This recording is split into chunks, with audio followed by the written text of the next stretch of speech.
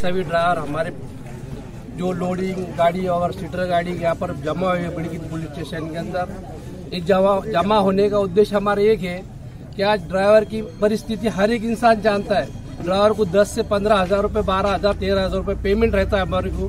दूसरा हमारे बाल बच्चे हमारे घर देखो जाके तुम कैसे हम रात दिन रोड के ऊपर रात दिन रोड के ऊपर हमारा खाने का ठिकाना पीने का ठिकाना ऊपर से शासन हमारे ऊपर रोज नए नए कानून एक तो हमको पुलिस स्टेशन वाले सताते, ट्रैफ़िक वाले सताते, सब लोग सताते आरटीओ वाले सताते।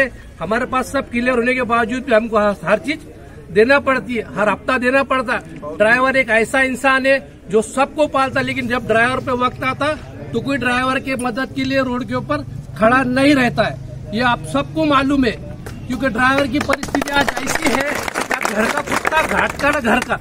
क्योंकि ड्राइवर का ऐसा मामला है, बेचारा एक तो दो वक्त की रोजी रोटी कमाने के लिए कभी इस देश, कभी उस देश, कभी उस प्रदेश उस प्रदेश जाते रहता। और ऊपर से कानून हमारे ऊपर नए नए लादे जाते। हमारे पास सब कुछ होने के बावजूद भी आज हमारा कोई वाली नहीं, क्योंकि कोई हमारा संगठन नहीं, कोई हमारा बोलने वाला नहीं। ड्राइवर ये एक ऐसा ऐसा एक प्राणी हो गया आजकल जमाने के अंदर कि उसका कोई पुरसाने हाल नहीं, कोई पूछने वाला नहीं। तो अमित शाह से हमारी गृह मंत्री राज्य के जो उनसे गुजारिश है कि आज एक गरीब ड्राइवर यहाँ पर जमा हुए पुलिस स्टेशन के अंदर निवेदन देने के वास्ते उनके ऊपर कानून से भी हम रिक्वेस्ट करते, ऐसे काले कानून ना निकाले, ताकि ड्राइवर के ऊपर ये बोझ बने और ड्राइवर के लिए कुछ ऐसी सुविधा निकालना चाहिए। उसका एक्सीडेंट होता है, वो मरता है, कुछ होता है, उसका पैर फ्रैक्चर होता है, उसके परिवार के लिए, उसके बाल बच्चों के लिए कुछ ना कुछ सरकार योजना निकाले, इस बारे में सोचे। क्योंकि आज आप सबको मालूम है बारह पंद्रह हज़ार रूपए में घर कैसा चला सकता उसके अंदर? हमको कितने जगह पैसे बांटना पड़ते? मालक ऊपर से सता था अलग से हमारे को, बराबर है?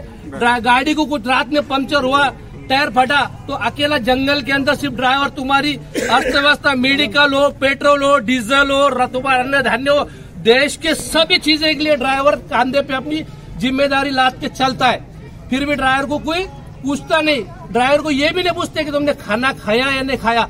आज इस बिड़की शहर के पैटन तालुके के अंदर हम यहाँ पर इस वास्ते जमा हुए है कि हमारा ये काला कानून वापस होना चाहिए। ड्राइवर एकता! ड्राइवर एकता! और ये निवेदन तीन दिन तक समझो अगर कानून वापस नहीं लिया गया हाँ। तो हम पूरी तरह अस्त व्यवस्था बंद कर देंगे और पूरा पूरा ट्रक चक्का जाम कर देंगे।